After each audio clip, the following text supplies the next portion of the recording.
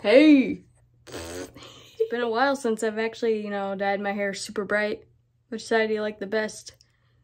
The teal or the lime green? It's been a while since I've done like an actual random video.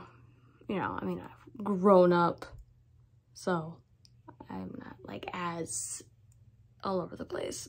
The last time I, um, the, the last time I dyed my hair, it was just the teal in my blonde. So it was like, you know, half white and half blonde, well, half platinum and half teal.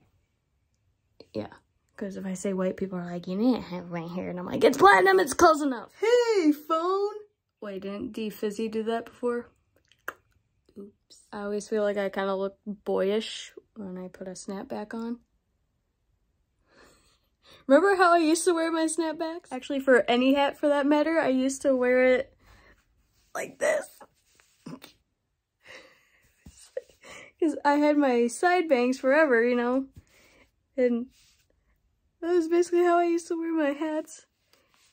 Snapbacks or not, it was just any hat I had to have like the bill like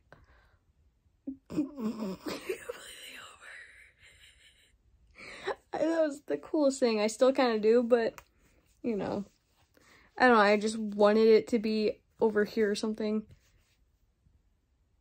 It doesn't work that well because I don't have, you know, the humongous, wasn't humongous side bangs, but you got it.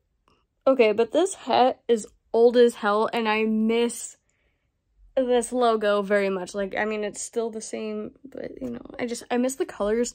Red and black were, like, the best. Mm-hmm. I really don't know. I just wanted to pop on here and show my new hair.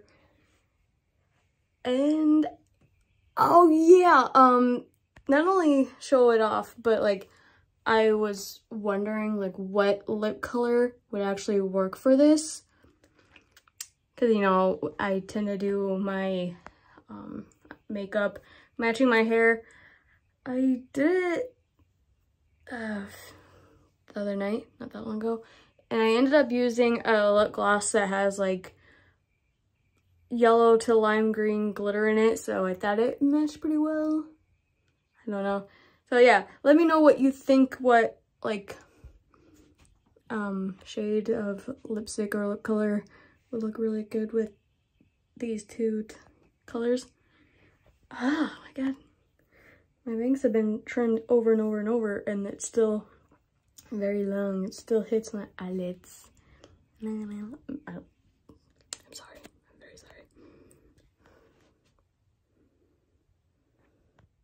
So yeah, like um whatever lip shade that you think would go well with these two colors, let me know. Dude, my freaking bangs have been trimmed over and over, and they're still hitting my eyelids. I'm sorry. I am I'm gonna go so I don't embarrass myself any more than I probably already have, so.